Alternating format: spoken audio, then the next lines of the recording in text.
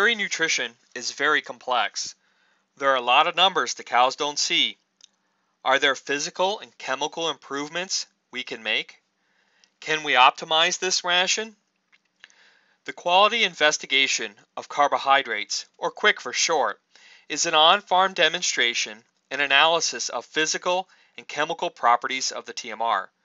The QUIC program uses the specially designed QLF Mini TMR mixer.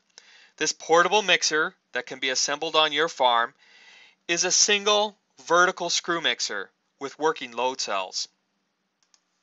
The Mini TMR mixer allows us to precisely weigh both small and large ingredients. This mixer was designed to mix real TMRs on real dairy farms. We load the TMR in a similar fashion to a full-size TMR. A forage, a grain, and another forage, usually corn silage. The TMR mixer is allowed to mix an appropriate time to complete the mixing properly. We've evaluated this mixer to ensure the NTMR is consistent throughout.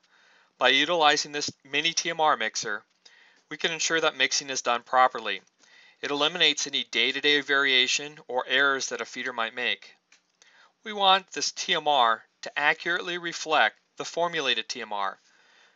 You can see the TMR bubbles and mixes like a regular TMR mixer. The TMR mixer is emptied carefully onto the ground. Multiple TMRs can be mixed on the same farm to simulate multiple TMR choices. This allows us to investigate TMR alternatives that might vary levels like QLF liquid feeds or corn. You can see in this picture the current ration on the right and two other simulated rations on the left. These multiple options will help us optimize the chemical and physical components of the TMR.